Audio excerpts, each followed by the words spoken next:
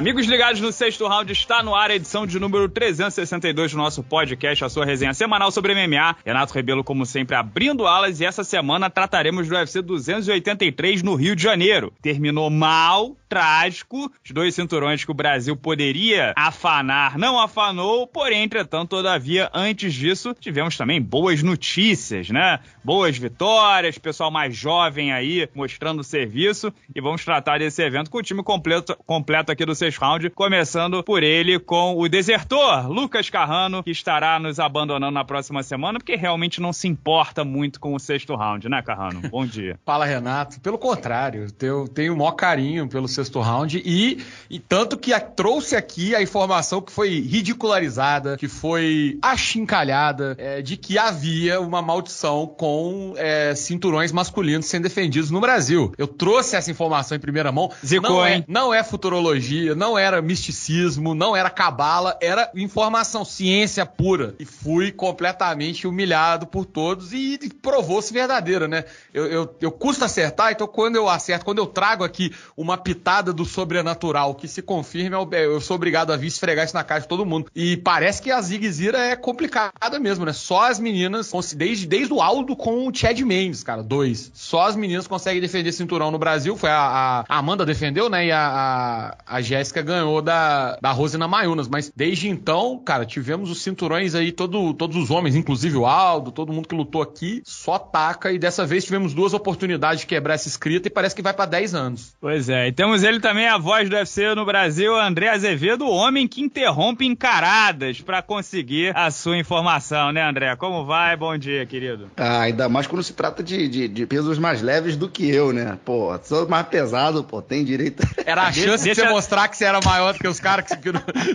é, o André, o André está, não, está sendo muito perseguido nas redes sociais por causa daquele frame com Carlão e Minotauro, né, André? Tá parecendo que você é anão igual a mim. Pô, não é, cara? Pô, então, um abraço aí pra galera que ouve a gente aqui no sexto round. Pô, me botaram numa. É, é complicado, né, cara? Porra, um tem quase dois metros, o outro tem, sei lá, quase 1,95m. Eu tenho 1,80m, fiquei parecendo uma criança ali entre os dois, né? Mas não tem jeito, agora é, é a minha mas sina, né? chama a atenção que me começaram a me chamar de anão, porque eu tava do lado do Car Carrano, que também é uma baiaca, né? Então. é, eu sou da altura do Minotauro, pô. E o Minotauro tem a mesma é, altura. Pois é, aí a mim não. A mim lasca o anão, o rasbula, não sei o que lá. O André vamos pegar leve, né? Não, o André. O meu teve um agravante. Teve um agravante, gente. A, a Evelyn mede 1,57m e, e na montagem que fizeram lá, ela tava maior que o Demian. Era o esticão, né? Aí me quebrou, porra. Aí ô, me quebrou André, total. Fiquei sabendo aqui, me, me confidenciar fontes fidedignas que eu tenho dentro do, do UFC Brasil e o UFC gringo também, que você disse que a partir de agora só comenta, é, só, só de comentarista só aceita o Demian? Não vai querer, não, não, faz, não faz mais transmissão Ou vai pedir com o um banquinho, que nem a Megan Não, Olive, eu vou, né? Eu vou ter que, é, vou, vão ter que arrumar até na transmissão da Band lá no, no, final lá que a gente tava amarrando depois da luta do Shogun. Eu olhei no monitor, tava igual uma criança, até falei, falei, ah, a produção vai ter que arrumar um banquinho pra mim, alguma coisa aqui pra ficar perto dos, perto imagina dos caras. Imagina se eu tô ali no meio e viraliza esse print na internet, André. Nossa o que aconteceria senhora. com a minha vida? Nossa, não, às vezes você até tava, né, Renato? Só a câmera que não tava pegando, que ela tava enquadrando. Tá vendo? Tá plano vendo? Americano, plano americano, Renato não, não entra, ele fica mais Isso. embaixo. O cara ali. já tá com o salário do shake garantido, agora vai começar a me humilhar, né?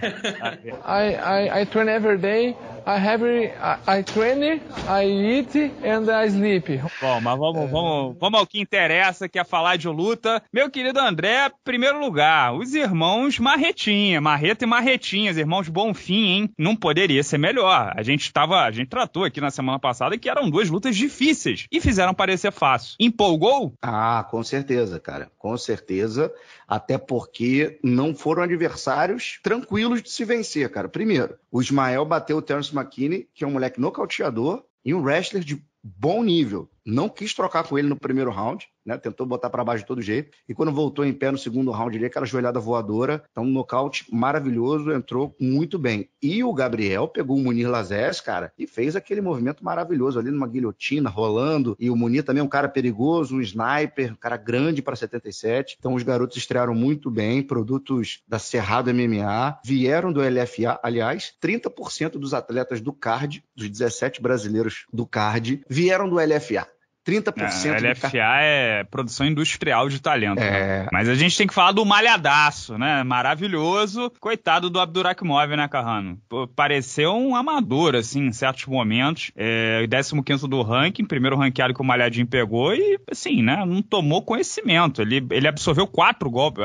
Não, quatro foi o Durinho. Ele absorveu um golpe do Abdurakhimov, noite fácil. Pô, fácil. Olha, eu vou te falar uma parada. A gente tava na live até antes do evento, né? A gente comentou que tinha aumentado, inclusive, a, as odds. Ele tava pagando. Tava, na verdade, ele era favorito numa proporção de 9,5 para 1. E assim, porra, eu, eu tava dando favoritismo pro, pro Jailton malhadinho também. Achava que ele ia ganhar e tudo, até fácil, mas eu falei, cara, 9,5? Pô, 9,5 é, é um. Seria uma. Assim, se o Abdurakhimov ganhar, seria uma das maiores zebras da história do, do UFC. Eu falei, pô, será que vai ser isso mesmo? E foi, né? Um golpe absorvido.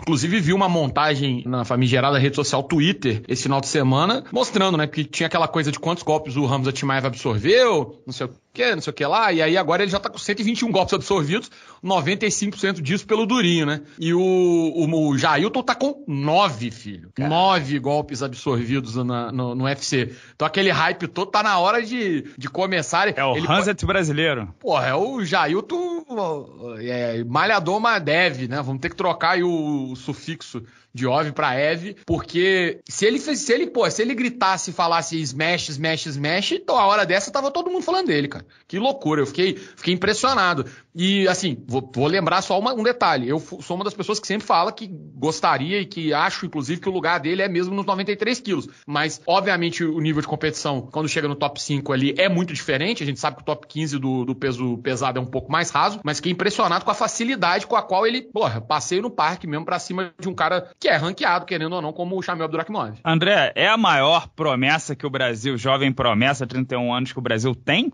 Hoje? Sim, sim. Na minha opinião, sim. Vem provando isso por conta de todas essas coisas que vocês falaram. Um jogo diferente, um jogo diferente. O cara nasceu em Daguestão, Bahia, Brasil, né? Pelo amor de Deus, né, cara? O é jogo... Daguestão com um acento agudo no ar, né? Daguestão. É, Daguestão, Daguestão. Bahia Brasil. O moleque é um monstro. Além de tudo, ele faz esse jogo de, de, de russo-baiano, mas o moleque tem um boxe primoroso, é filho de ex-pugilista, tem um gás que não acaba, tá? Muita gente nem sabe, porque ele não vai até o final, mas eu converso muito com o Pateira, converso com o Malhadinho, tem um gás, meu amigo, que a hora que ele precisar mostrar o gás que ele tem, vocês vão ver. O moleque, tem, o moleque é diferente. Deve chegar aí, vai fazer uma visita aqui pro, pro amigo aqui, vai, dar um, vai vir dar um rolê aqui no Kid. A gente se falou aí que o nosso. Mas você não mora em São Paulo agora, André? Não, cara, não me mudei ainda não, pô. Tô na ponte aérea, tô, tô fazendo ele tá morando, Ele tá na ponte, literalmente, morando debaixo da ponte, porque ele já vendeu o apartamento dele. Semana passada falou que ia entregar no fim de semana, uma hora dessa tá morando debaixo da ponte, pô.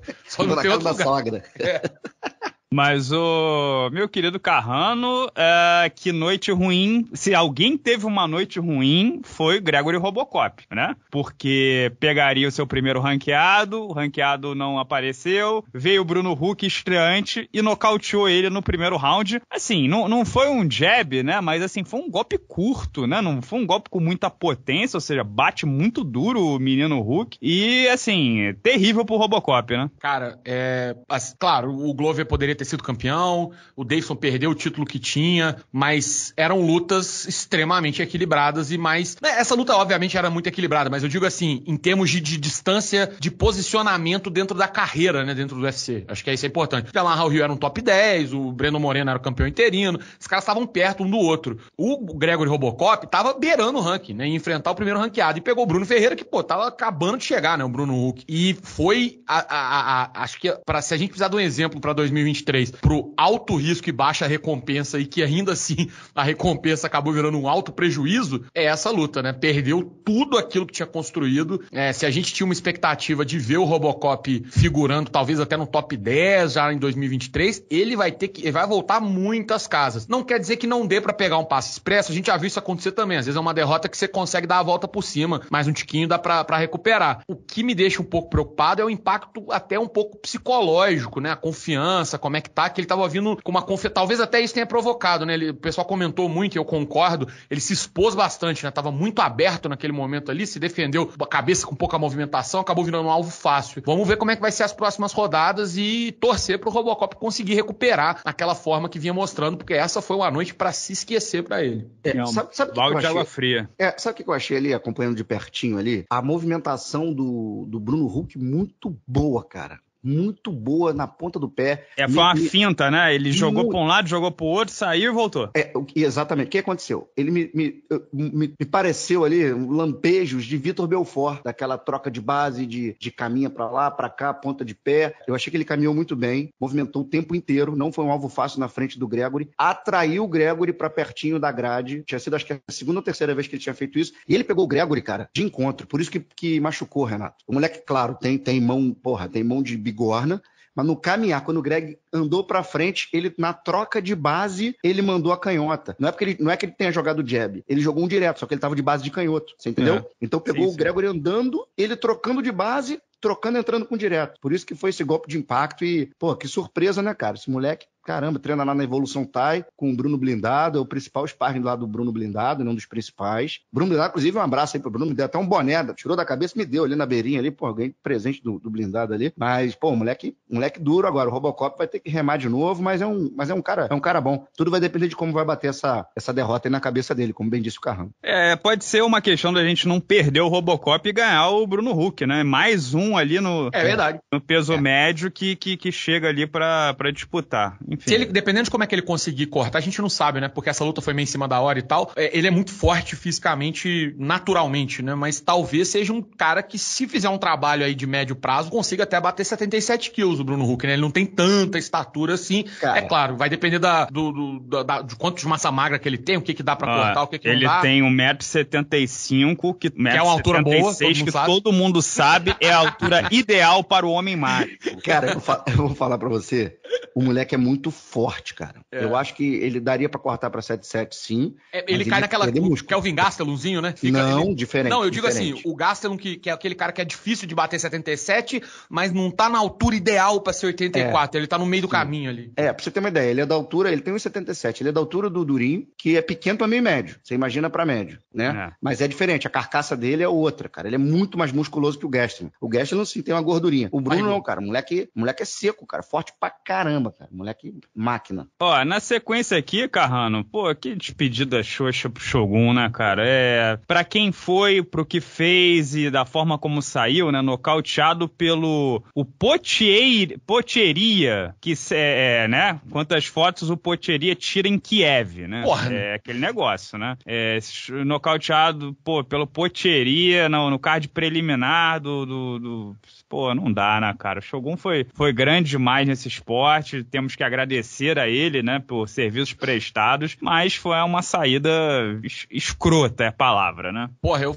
até falei na hora, comentei no Twitter, falei assim, esse esporte tem hora que é uma merda, não tem como, cara. É, a gente fala muito aqui, e aquela coisa, todo mundo, aí, to, quando eu falei isso, todo mundo falou assim, pô, cara, eu tava achando que o Shogun ia ganhar. Cara, não, né, eu, assim, a minha expectativa no início era, cara, faça um bom papel, e não ficou feio, assim, tipo, nossa, o Shogun foi completa, ele até deu um cruzado lá que me iludiu um pouco. Eu falei, caralho, será que vai dar e tal? Mas é o que você falou, né? Não é uma questão do, do Shogun hoje, com 41 anos e, e, pô, lutando contra um cara aí que acabou de chegar na organização. Mas é a história que ele tem. É um cara que, pô, eu acompanho desde quando eu comecei a acompanhar MMA assim mais de perto. Ele tava no auge. Eu sempre falo que eu faço essa brincadeira, essa imitação de Shogun e tal, justamente porque é um cara que eu gosto muito, senão eu jamais até teria esse interesse de acompanhar a ponto de, pô, de me ligar o jeito que ele fala e tal. E para quem acompanhou o Shogun lá na, naquele GP do Pride, que é provavelmente é o GP mais difícil da história do MMA até hoje, pô, é difícil, né? Você não é legal. A gente. Difícil é desapegar dessa memória afetiva de ver um cara que era um, uma máquina de, de moer gente e virar, é, é, chegar né, na reta final da carreira já né, desacelerando e tal. Pelo menos, como eu falei antes, deu para quem para quem acompanha o esporte e acha legal, pelo menos pode falar, pô, viu o Shogun de perto, vi esse momento, o UFC fez uma, uma homenagenzinha legal para ele, foi maneiro, mas a, a, a, luta em si, merda, né? Não, não tem outra palavra. Dá. E assim, o Shogun não foi só. É, você já citou o GP, um dos mais difíceis, ou mais difícil da história do MMA. E depois veio pro UFC, teve a jornada do herói, né? Altos e baixos, aquela estreia horrorosa É, com Forrest Griffin, Forrest Griffin. É, e, cara, eu lembro muito bem disso. Eu, eu era estagiário na, da Grace Magazine mais ou menos na época, ou já.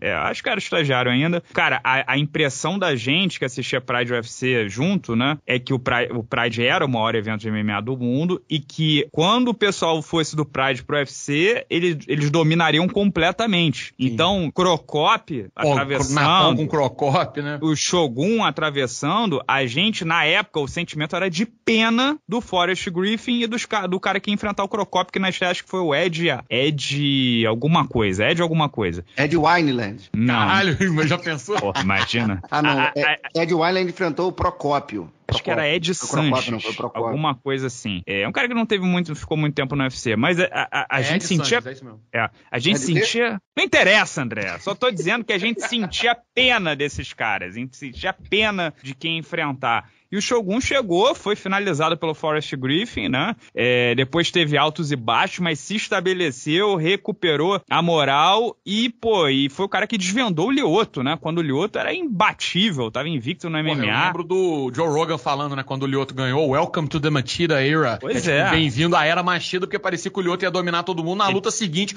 Shogun já foi lá e já deu um, porra, um calor É, que tão o, fudido. o, o Rashad É, Evans gente- era, era um cara. na época que o Shogun havia ganho aquela, aquela luta. Havia Ah, não, eu acho que ele ganhou, cara. Tanto que o UFC É. deu revanche imediata, né, cara? Ele era desafiante e Não, é. perdeu. O Rashad Evans tinha cara de campeão dominante, o Lyoto tirou ele pra nada e o Shogun foi lá e nocauteou o Lyoto. Aí depois veio o John Jones, né? Que é aquela circunstância, né? Veio logo, caiu logo na chave dele. Mas ainda assim, a carreira do Shogun é, é- é histórica. Eu acho que ele merecia uma saída mais pomposa, né? Enfim. É, mas aí qual, qual seria a saída mais pomposa? Ah, sei Ter lá. nocauteado esse Zé Bunda aí, André. Ah, ter feito tudo então, bem, mas sei lá, estão falando ter do pagado esse cara adversário. 50 mil Não, dólares não, pra cair, botar, porra. Tô botar ele num, num card principal relevante contra um Ah, outro tá, veterano. É Tá. contra um outro veterano que dê mais luta. Entendi. Bota ele Sam Alve no. Não, Sam Alve não dá também. É, ele e Dan Henderson 7.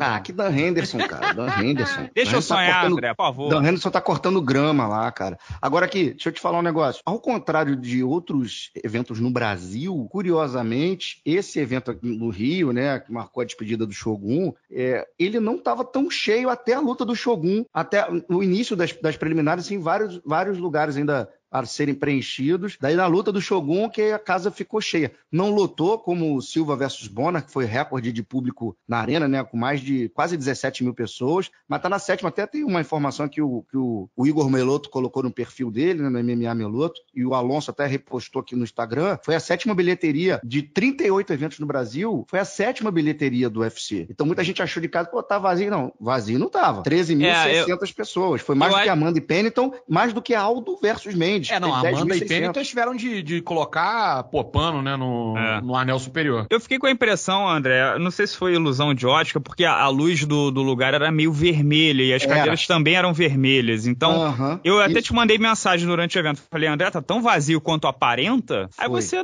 não, deu uma enchida aí, pô, 13 mil, se a lotação era 16, não foi tão ruim não assim. foi tão Não, ruim. Mas é engraçado alguma. esse perfil, né, cara? De chegar no, no card principal, que é uma coisa bem diferente. No Brasil, isso não é comum. Isso é comum em Las Vegas. Exato.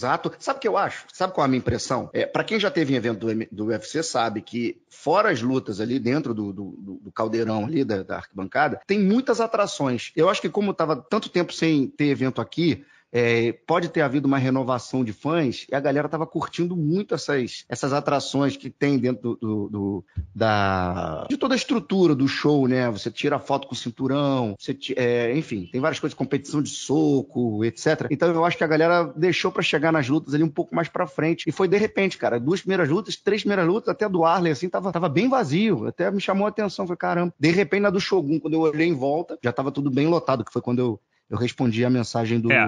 do Renato. Depois eu quero contar um caos aí da pesagem que você me sacaneou no começo. Quero contar um caos aí pra galera, pra galera aqui do sexto round. Ó o umas- teaser, ó o umas teaser. aí. Teaser do nosso quadro novo chegando. Vamos falar no final, falar no final, mas tomara que você esteja certo, André. Agora, no card principal, Johnny Walker, o Carrano, tirou onda, né? O Paul Craig foi catar a perna dele e levou é, meia dúzia de muquetada, né? Não dá. Ainda no segundo, segundo no segundo minuto de luta, mas o Johnny Walker empolgou de uma forma que eu poucas vezes tinha visto antes, né? Ele conseguiu a segunda vitória seguida pela primeira vez desde 2019 e já tá falando de ser duplo campeão, ator de Hollywood, venceu o John Jones, o Carrano, empolgou. É o, Paulo Nobre, pô. Depois do amistoso em Atibaia, Paulo Nobre diz, vai ser difícil ganhar da gente. É, mas, olha, ser honesto, assim, se for pra ficar desmedido pra um lado, que seja dessa forma. O Johnny Walker tava até a penúltima rodada, ele tava brocochô. Correndo né? risco, né? Correndo não, risco e ele tava, demitido. e ele tava, você via que ele tava meio brocochô, ele tava, não era aquela mesma coisa, tá? então pelo menos ele tá empolgado, tá feliz, é, combina com ele, né? O estilo, a natureza do cara é essa, ele é expansivo, acaba que, que casa melhor um pouco. Então melhor que ele esteja assim. Foi uma boa vitória sobre um cara que a gente tinha falado aqui, é um samba de uma nota só, mais um samba de uma nota só perigosíssima. O Paul Greg, se deixar ele, ele fazer o que ele sabe fazer, é perigoso. Inclusive,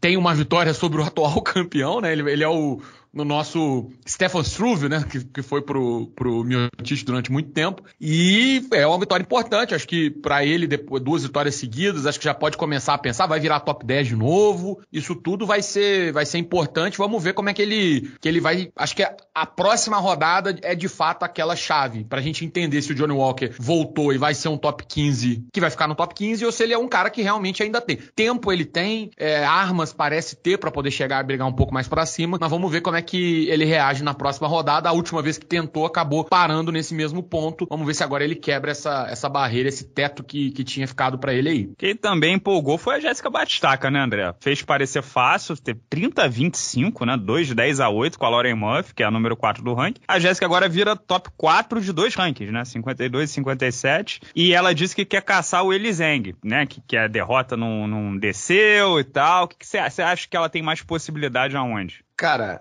assim, eu acho que ela tem mais poder de nocaute na de baixo, né? Eu acho que ela fica muito bem também nos 57 quilos. Provou isso contra a Lauren Murphy. Eu fiquei impressionado com a capacidade de absorção de golpes da americana. Meu irmão, apanhou mais do que boi ladrão. Negócio absurdo, umas combinações da Jéssica. A Jéssica estava com movimentação de cabeça, cara, no estado da arte. Foi a, a, a, a vez que eu vi a Jéssica se apresentar, tecnicamente, assim, melhor na minha vida. Mexendo a cabeça, combinando corpo-cabeça, aqueles cruzados dela de canhota, botando direto. Cara, eu achei, achei assim, uma performance primorosa da Jéssica, menor do que a Lauren, mas achou a distância rapidamente, uma inteligência na, na, na movimentação fez com que, que, isso acontecesse. Mas, assim, eu acho que dá caldo nas duas categorias. Eu acho que as duas categorias têm campeãs muito difíceis de serem batidas, tanto a Zang quanto a Valentina. Mas eu acho que a Zang está mais à afeição da Jéssica. Acho que a Jéssica, nos 52 quilos, tem mais potência, fica muito mais forte do que as outras garotas, com exceção da Zang ali, que é, uma, que é uma monstrinha também. Mas eu acho que da luta, na primeira luta entre elas, foi rápida. A Jéssica praticamente não,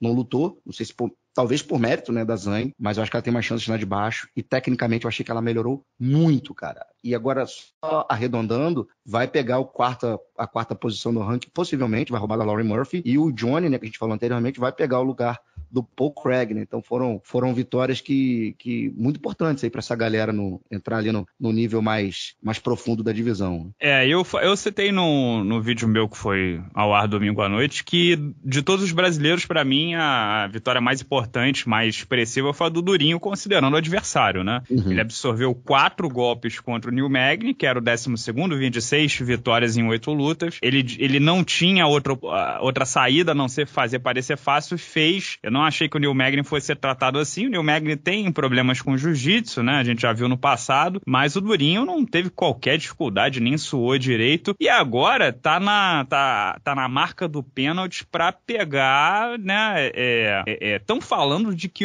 ele vai ser o treinador do próximo The Ultimate Fighter com Kobe Cove. Então não sei se isso é verdade, pode ser só fofoca e boato. O próprio Durinho deu uma estimulada nesse boato, é, mas aí eu não sei se ele, é o que ele quer ou se, se tem alguma informação nisso. Só que ele, ele vai pegar ou Kobe Covington, ou ele vai pegar ou Belal Mohamed, ou Hansa Kimaev. Não tem qualquer outra opção, ou mais Vidal, que é uma luta grande, mas não tem outra opção para ele. Ele tá uma, uma vitória de disputar o cinturão de novo, é, perto de fazer 37 anos. É, e aí, o Durinho ainda pode ser campeão, André? Tranquilamente, tranquilamente, totais condições. Considerem que o Leon Edwards pode vencer o Usman de novo e muda o cenário, né? Como assim? Aí abre para ele, né? É, abre para ele, né? Não é o mesmo cara que venceu. Esse é, fim de semana eu falei com um amigo meu, o cara tava conversando sobre isso, falei, só pra, pra passar a bola pro André, que o Durinho deu um baita azar de ter pego o Usman, de ser um cara que ele já conhecia, ficou muito claro que, que essa intimidade, esse conhecimento deles acabou tendo um peso maior do que deveria dentro do combate, porque se fosse o Leon Edwards é outro mundo, né, cara? É outra situação completamente diferente, pode ser que role isso. É, e tem um detalhe extra-octógono que ele e o Leon Edwards já se bicam há muito tempo.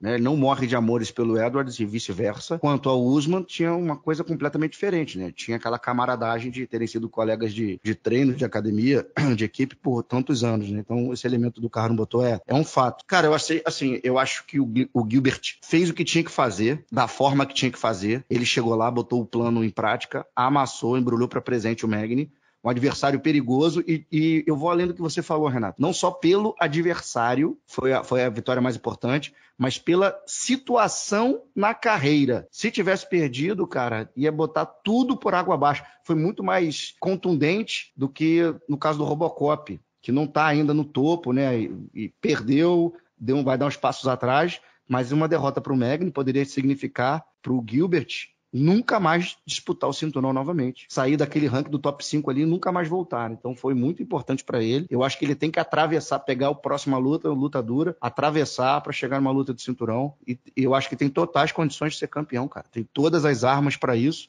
mostrou mais uma vez que ele, e como ele mesmo disse, né? Ele pronto, ele focado, meu amigo. Ninguém segura, o moleque é, é sinistro. É, e na luta com o principal, o meu querido Carrano, o Brano Moreno já deve pegar o Pantoja, que é o pesadelo dele, né? O, o Pantoja está pro Brano, Brano Moreno, assim como o Poitin está pro Adesanya. Duas, tinham duas lutas, duas derrotas, derrotas contundentes, né? 30 a 26, finalização. Então o Moreno vai pegar o Pantoja e a gente tem totais condições de retomar o cinturão dos moscas para o Brasil. Agora, o Davidson Figueiredo anunciou oficialmente que vai subir, que, né, corte de peso para 57 quilos está afetando, não, né? Eu cantei é... a pedra, eu cantei a pedra semana passada, lembra? Não é verdade, não, não é o ideal para ele. Eu quero saber dos senhores. Davidson Figueiredo com 61 quilos. Será, letra A, protagonista é, é, candidato ao cinturão. Letra B, meio de tabela ou letra C ficará esquecido? E eu vou, posso dizer para vocês aqui que o 11 do ranking até 61 quilos é o Umar Nurmagomedov. É o priminho do Habib, que vocês viram que como é que foi contra o Raoni Barcelos, ele estava gigantesco perante o Raoni Barcelos, que lutava de peso pena. Então considerem esse salto de diferença. Por exemplo, o Said Nurmagomedov é o 14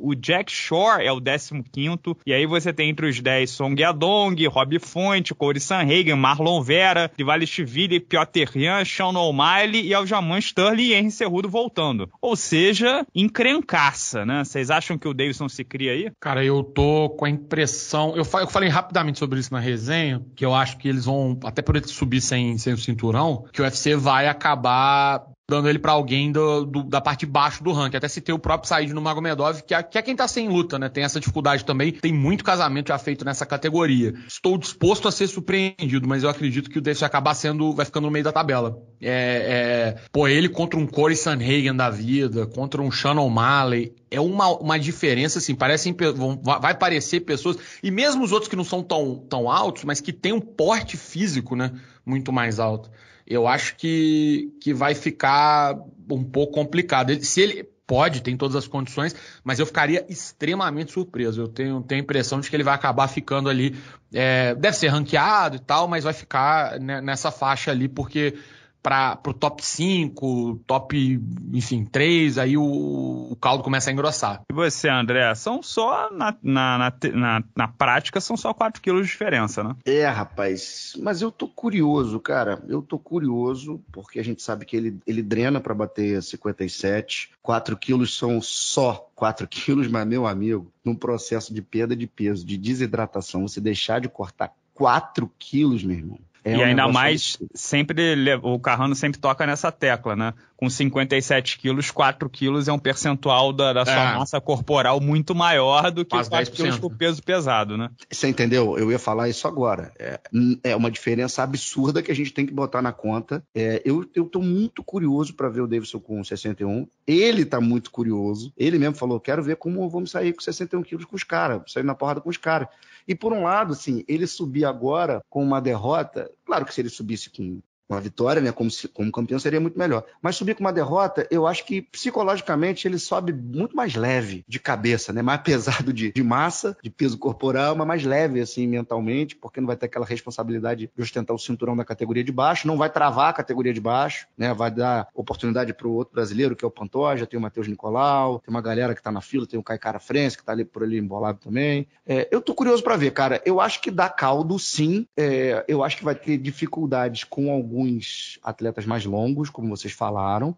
Mas eu acho que isso, cara, não é assim um empecilho total, não, porque a gente tem exemplos aí de atletas que são menores em estatura, e se dão é, super o, bem. O RC Rudo foi campeão é. lá de cima. O Demetrio Johnson foi campeão lá de cima. Você entendeu? Exatamente. Isso que a gente está falando nessa faixa de peso. Você for olhar, pô, a gente já citou aqui. O Gilbert é um cara pequeno para 77 quilos. Já disputou cinturão. Vocês viram o Bruno Huck contra o Robocop? 1,90 contra 1,77? Viram o nocaute? Então, assim. É, o, o Robert Whittaker era meio médio. Meio médio, entendeu? O, o Tarzan, o maluco lá, o Strickland, era um cara que lutava de 7,7. Poirier. 66. Você entendeu? Você tem algumas. Charles, 66, foi campeão nos 70 quilos. São só 4 quilos de diferença. Entende? Então, pô, o McGregor, né? Enfim, 66, 70. Eu acho que isso depende muito da forma como você corta peso, como você recupera peso e como você luta mais pesado, sabe? Eu acho que ele não vai perder agilidade, eu acho que ele vai ganhar força no 61 e acho que ele não vai ter esse fantasma da perda de peso que o cara carrega durante, sei lá, quatro meses. O cara começa a fazer dieta, sei lá, cinco, quatro, cinco meses antes, cara. Pô, é, ele pro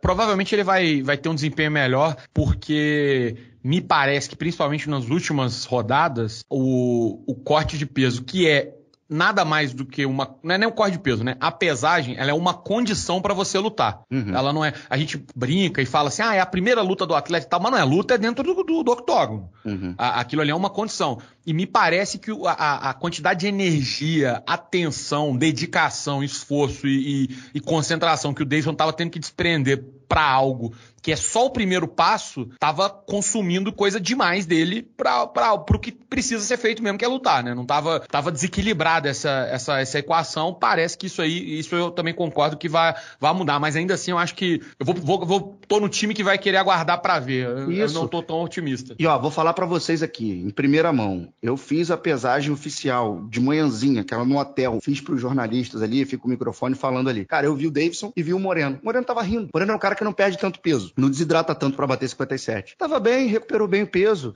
O, o, o Davidson, cara, apesar de ter batido bem o peso, cara, tava muito drenado, sabe? Você vê que o cara gasta muita energia naquele processo ali. E eu vou parafrasear o que o DC falou ali, saindo do cage, né? Ele falou: olha, você é um preso música brilhante, teve uma bela história, eu tenho certeza que nos 61 quilos você vai brilhar também, porque você é muito bom. Eu acho que é isso, cara. Se vai ser campeão, a gente não sabe. Tem que esperar a primeira luta para ver como ele vai se sentir dentro do cage com, com 61 quilos. Mas eu aposto, porque, cara, ele é muito bom lutador. Muito bom lutador, muito completo. Beleza. E na luta principal, tristeza, né? Tristeza, não tem como dizer outra coisa. Glover apanhou bastante do Jamal Hill, perdeu os cinco assaltos, teve seus momentos, mas né, é, né não, não, não, chegou perto de vencer a luta e acabou se aposentando, entendeu a dinâmica, entendeu que diferença de 12 anos de idade, o rapaz né, bem mais rápido, mais resistente, é, o ciclo da vida não tem jeito. E aí a questão que eu trago agora é a seguinte, né? O Glover falou que vai se compenetrar no Poitin, né? Vai, vai focar em, no, no, no Poitin ter um, né? Ter um, ter um reinado aí, de repente virar duplo campeão, quem sabe. Vai, vai, vai focar na academia dele, né? Em novos talentos. E o Jamal Hill,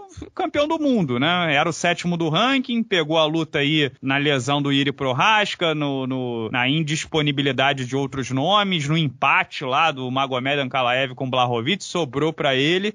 Eu quero saber de vocês o seguinte: e aí, o Jamal Hill vai ser um campeão dominante ou tá com um cara que é só uma rodada, tira foto com o cinturão e devolve? Ó, eu vou, eu vou já emendar aqui que eu tava na beirinha do Cage ali. Eu acho que ele ganhou do Glover por conta da, desse, disso que o Glover falou, de velocidade. Porque o Glover entrou, tentava aquele single ali, não conseguia mais botar para baixo, então acho que fez muita diferença a, a idade dos dois, né? O momento dos dois fosse um Glover mais jovem, mais rápido, ali tinha posto para baixo, tinha dominado ele não conseguiu. Méritos do Rio, que veio muito bem treinado, Primeiro, começou a luta como destro. E eu chamou atenção na hora. Eu comentei na hora lá no, ao vivo, falei com o Carlão, pô, veio completamente diferente, com a defesa de quedas em dia, mas eu percebi ali que a idade fez diferença, a velocidade fez diferença. O Glover mesmo reconheceu isso e foi, fez parte do discurso dele. Mas eu acho que contra o Iri Prohaska, jovem também, com aquela, pô, com aquela pujança toda, com aquela fortaleza ali, eu não vejo o, o, o Jamal tendo, tendo um reinado muito longo, não, tá, senhores? Vai ser um lutão, né? Cara... Jamal e,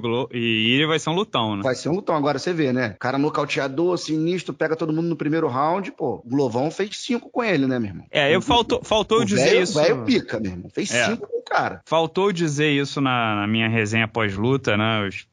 Ficou fora do roteiro, mas, cara, tem que, a gente tem que ressaltar o quão resiliente foi o Glover. O Jamal disse, né, na entrevista pós-luta, eu acho que ninguém no mundo aguentaria tudo que ele aguentou aqui hoje, é impressionante, né? Fábio é... Maldo... Tal, talvez Fábio Maldonado. é... Cara, que foi nocauteado pelo Glover, né? Exatamente. Eu nunca vi isso na minha vida, tá? Eu nunca vi. Foi um negócio assustador. É, até narrando ali, eu sempre levanto a bandeira, não, a gente tem que ser imparcial, independentemente de quem lute e tal simplesmente eu não consegui. Eu não consegui. Eu me vi torcendo, claro, não de forma ufanista falando que ele estava ganhando, obviamente que não estava, estava perdendo. Não mentindo, né? Torcendo não, falando a verdade. Exatamente, mostrando ali que a qualquer hora ele poderia cair, mas cara, o, tava todo mundo, na verdade, tava todo mundo torcendo pro Glover, cara. Acho que até americano que tá vendo aquilo tava torcendo pro Glover, porque foi uma, uma prova assim de, de realmente um rock balboa da vida real, cara. E é. até perigoso, porque teve que ir pro hospital com certeza fazer ressonância, que, meu irmão, tomou muita porrada. O árbitro poderia ter parado aquela luta antes. Tava o ferimento no supercílio direito muito aberto. Gente, muito aberto. Tava, vendo, tava dando para ver a, a, carne ali dentro. Mas o árbitro deixou seguir e o Glover pôde se, se, despedir de uma forma um pouco mais honrosa, né? Levando essa luta até o final, até o 25 minuto. Quando botou para baixo nas duas vezes ali, foi um negócio de louco, né, cara? Porque, porra, era, era o tiro que ele precisava, mas não foi suficiente. Méritos do Jamal, mas eu vejo um Prohaska complicando a vida dele. Eu vejo um Boarovic complicando, eu vejo um Ankalaev, e eu vejo também menino Rakit complicando a vida dele. É, pois é. E aí, Carrano, Prorasca favorito? O Glover é o duro demais pro, pro, pro bem da saúde física, né? Mas o ele... Prorasca favorito? Acho que até o Glover chegou a falar isso né, no, no, no, discurso dele. Eu acho o Prohaska favorito. O Hill se tornou o primeiro campeão a vir do Contender Series, que era um grande formador de meio de tabela do UFC, agora forma seu primeiro campeão, mas com toda essa circunstância aí que você citou, né? É, teve que dar um empate, machucar o campeão, tirar cinturão. É, pô, foi, foi, muita coisa que teve de alinhar ali para dar certo. É uma história bonita, pô. Eu fiquei até um pouco comovido com a emoção do Hill. Tinha muito tempo que eu não vi um, um lutador conquistar um cinturão e ficar Você tão chorou, emocionado. Carrano? Não, eu sou. Eu tô morto por dentro, né? Eu não, não, não me emociono com as coisas que mais. Isso, não. cara, que coisa, mas... que coisa triste pra se dizer num podcast entretenimento. Mas, é, mas foi bonito, cara. O, ele, é, ele ficou. Cara, foi difícil entrevistar ele depois, né? Ele tava. E depois que saiu do microfone, ele ajoelhou no chão de novo, começou a chorar outra vez. Ele tava realmente bastante comovido. Mas é, é isso. Vai ser zebra contra o Iris. Se der a bamba e ganhar, vai ser zebra de novo novo é, contra o Ankalaev, vai ser aquele campeão que tá com cara de que tá segurando o cinturão para alguém. É, é bom o Jamal Hill torcer pro John Jones se dar bem no peso pesado, né? Porque vai que o John Jones volta. É, porque senão aí ele vai entrar na cotovelada, né, irmão? Não, e tem é. uma coisa, né? Abre o caminho pro Poitin na categoria de cima, né, senhores? É, deixa isso pra uma resenha futura, porque é na resenha que a gente ganha dinheiro por aqui, André, por favor. Tá bom. Bom, é, queria ler a opinião de alguns membros do canal aqui sobre o futuro de, dos protagonistas né, do UFC 283, é, começando com conceito forte, sem palavras para o quão o grande Glover é resiliente, coração gigantesco, respeito máximo, merece ser Hall da Fama. Falar em Hall da Fama, José Aldo, né? Foi primeiro é, de 2023 indicado. É, o Wagner Oliveira, para mim o grande destaque foi a equipe de transmissão. O André foi muito bem e o Damian de comentarista surpreendeu, conseguiu transformar toda a parte técnica em didática para o fã comum. É, o Dani Daniel Teodoro, só respeito pelo Glover, trajetória digna de cinema. Saiu derrotado, mas com uma aura de mortal que faz jus a tudo que ele viveu no MMA desde a época da deportação. Temos aqui também o Malk 89 Flávio Glover foi um poeta, duro demais pro próprio bem, frase perfeita. É, Felipe Caldaço, um dia memorável, despedida de duas lendas. É aquele negócio, né, cara? Eu acho que no caso do Glover, ao invés do pessoal ficar desgostoso, né, que ele perdeu, não trouxe cinturão pro Brasil, o pessoal entende, né? O esforço, a dedicação e o fim da trajetória, né? É, o Arley Ferreira. Fala, galera, Durinho vai conseguir o Tarot Shot esse ano e será contra o Edwards. O Christian Maestre, maior representação de coração já registrada dentro de um octógono. Foi nível Frank Edgar, né, o Carrano? Você que. Ah, foi, não, daí para cima, né? O Glover poderia, até pela história, tudo já poderia ter desistido muito antes e foi até as últimas consequências e teve as suas oportunidades. Foi muito legal, de fato. É, embora o resultado não tenha vindo, foi muito legal acompanhar essa demonstração dele. Saiu, eu diria, até mais respeitado ainda do que entrou no octógono.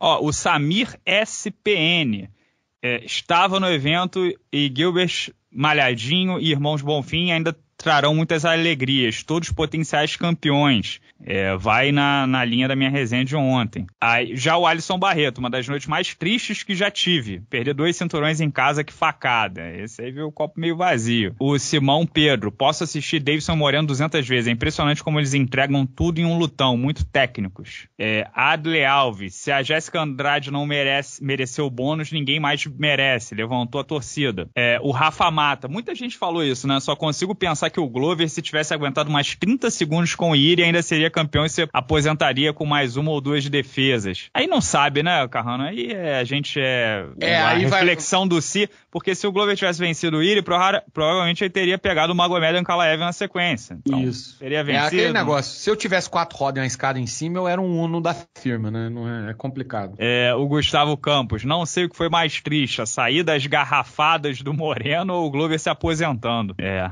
a saída do Moreno foi bem triste também. O Adilson Almeida, sinceramente, fiquei aliviado do Glover se aposentar, não deve mais nada, merece um filme sobre a vida dele. É, o João Cabral, acho que um ponto para se destacar é a vitória do gigante do Bruno Huck contra o Robocop. Pegou a luta em cima mesmo e nocauteou um futuro top 15. O, o João Manuel Jones achava covardia do UFC não fazer uma despedida honesta com as lendas. Mas Shogun mostrou que morrer como homem é o prêmio da guerra, viver como um guerreiro e morrer como tal. Nos despedimos de uma verdadeira lenda. É, o UFC não faz despedida humanizada, né? Isso tá bem claro. Robson Valdevino, acho que o Malhadino já pode marcar a próxima luta do peso pesado. É o Malhadinho tá com, com fome, né? André Franzin, Durinho deu aula, nunca viu o Magni ser atropelado desse jeito. E é isso, pessoal. Tem aqui o Washington Oliveira, equipe de transmissão deu show no Fight Pass melhor que o combate. O Leonan Torre, vejo o pessoal dando certa vitória do Pantoja sobre o Moreno, mas mesmo com dias de vitória, o jogo do Moreno evoluiu bastante, isso é verdade. É, o Gabriel Terenzi, abraço da cobrinha para os fãs que jogaram latas no Brandon Moreno, um dos atletas mais bacanas do UFC. É, Felipe Silva, Johnny Walker, se não for para uma briga de bar e lutar sem afobação é perigoso. Poder de nocaute surreal. É isso, recebemos, aqui mais de 100 mensagens, obviamente não dá para ler todas, mas agradecemos todos aos membros que deixaram a sua opinião aqui. It's cry baby, motherfucker.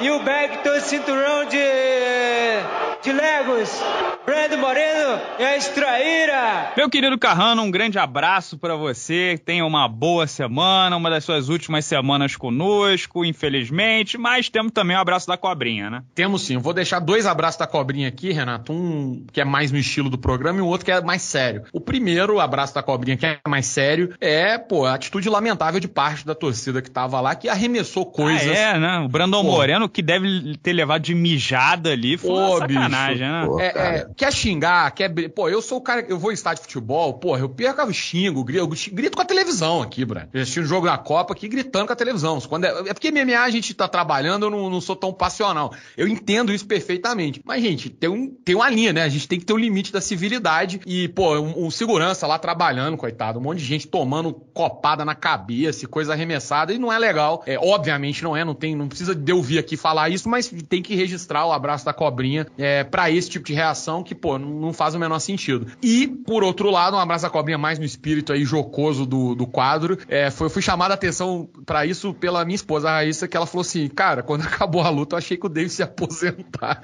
Ele tirou a luva para anunciar que ia mudar de categoria, saca? E aí o Davis acabou a luta, ele tirou a luva, e aí a Raíssa, caralho, o Davis vai, vai aposentar, Lucas. Eu falei, ah, que isso? Aí ele tirou a luva, ele, gente, tá muito difícil. Eu falei, caralho, vai mesmo, Raíssa, vai aposentar ele. Vou subir de categoria. Eu falei, pô, o Davis, não faz isso não, mano. Tá mandando o sinal errado. Então fica aí pro Davis que fez o ritual meio errado. Quando for aposentar, não vai ter mais o que fazer, pô. Já tirou a luva para falar que tá mudando de categoria. Então fica esse segundo abraço da cobrinha aqui também, é, para esse momento um pouco confusão mental do Davidson Figueiredo. Meu querido André, um grande abraço para você. Quero saber também se temos o um abraço do Pachequinho. Temos, temos o um abraço do Pachequinho dessa semana. Vai, pô, rapaz, até difícil, né, cara? Porque teve os irmãos Bonfim, teve a Josiane, teve o, o Bruno Huck, teve o Malhador Medov, teve o Gilbert, teve a Jéssica. Pô, demais, né, cara? Demais. Mas o abraço do Pachequinho essa semana vai para dois caras que se aposentaram. Vai pro Shogun e vai para o Glover. Tive o prazer de, de, narrar a luta dos dois. Foi um momento histórico para minha carreira, muito gratificante, muito honroso. Eu que assisto MMA, vale tudo, desde que era moleque, desde a época da, da TV Manchete, que tinha aqueles torneios lá com o, o Patino Macaco, desde o UFC 1. Enfim, foi um prazer, passou um filme na minha cabeça ali, foi emocionante. Fiquei muito feliz de, de, de poder experimentar isso, né? de poder viver isso. Né? Sou muito grato pela vida, então vai para os dois. O abraço para a audiência vai para o Vitor de Goiânia. Vitor de Goiânia estava saindo da arena, ao contrário de muita gente que saiu no, antes do discurso do Glover. Muita gente saiu da arena, ele fez o discurso para uma arena quase que vazia. O Vitor ficou até o final, então estava saindo depois da nossa, nosso, da nossa cabine de saída ali da transmissão, já era três e bordado, quase quatro da manhã manhã, eu saindo, o Vitor de Goiânia tava lá. Falou, galã? Aí eu olhei, falei, pô, beleza, tá, tá, tá, papá, tirando uma foto. Já sabe que é com você, né? Se fosse é. Carrano, né, cara? Pô, se for eu, o cara grita galã, eu sigo em frente, irmão. Fala, pô, qualquer um menos né? eu. Ah, ah, você vê, os caras gritam galã, você que sou eu. Se gritasse queixão, Carrano, se gritar não, ah, é. o Renato. Se gritar então, não, tá, já olha tá na hora, né? Apesar de ser uma mentira, apesar de ser uma mentira, claro. Bom, então vai pro, vai pro Vitor. E eu quero deixar registrado aqui é, o seguinte, muita gente com camisa do sexto round, cara. Muito é, legal, eu ia falar legal. isso que a, a, nossa querida Ariane Sorriso, né, a rainha uhum. da usada, a mulher uhum. mais testada da história do MMA, ela mandou a mensagem dizer que contou pelo menos 15 pessoas com camisas do sexto round na arena, né, o que, que aquece o meu coração, ficaria muito feliz de, de vê-los todos. Pô, legal, eu não, eu não vi a Ariane lá, não tive a oportunidade de encontrá-la, um beijo Ariane, eu sei que você sempre, sempre ouve aqui, da próxima vez vamos ver se a gente se encontra, bate um papo. É, muita gente, cara, muita gente, muita gente me reconhecendo por conta do sexto round, né, então eu vou pedir para você, Renato. Hoje você me apresentou como a voz do UFC, lá, lá, lá, lá, lá. Continua me apresentando como galã, porque já é a minha marca registrada e que eu abracei com muito carinho e sou muito reconhecido. Tá certo? Então, ah, ok, ok. Você acha que ele quer ser a voz ou quer ser bonito? Aí também é, é foda, né? O, é, o, claro, né? Ninguém quer ser o anão, o rasbula, o lenhador olha, de bonsai. O queixo de céu, falando. Olha o que vocês estão falando, cara. Eu digo que eu acho mais bacana eu ser conhecido aqui como galã de Niterói, batizado por Renato Rebelo, do que ser como, reconhecido como a voz do UFC no Brasil. Você ainda vem me meter uma é Claro dessa? que eu vou distorcer tudo que você falou, né? Meu, meu, é inclusive parte do meu salário. Eu vou ser descontado no final do mês do meu acerto se eu não distorcer o que você falou aqui. Valeu, pessoal. Um abraço. Fiquem com Deus. Tchau, tchau. Ah, e temos quadro novo para os membros do canal, hein? Que é Histórias de Bastidor. Histórias jocosas ou não, vivenciadas por Lucas Carrano, André Azevedo e, a, e eu, né? É, vamos contar nossas histórias aqui do, de tantos anos no meio do MMA. Cada vai ser uma por mês, cada mês um de nós três vai contar uma diferente, começando com o André Azevedo, que liderou pela primeira vez uma pesagem do UFC, os bastidores e tal. Então temos momentos interessantes e jocosos e vai estar disponível para os membros essa semana ainda, beleza? Tchau, tchau, fiquem com Deus. É, escutem pelo YouTube para resgatarmos o, o nosso alcance, mas está em todas as plataformas também. Tchau, tchau.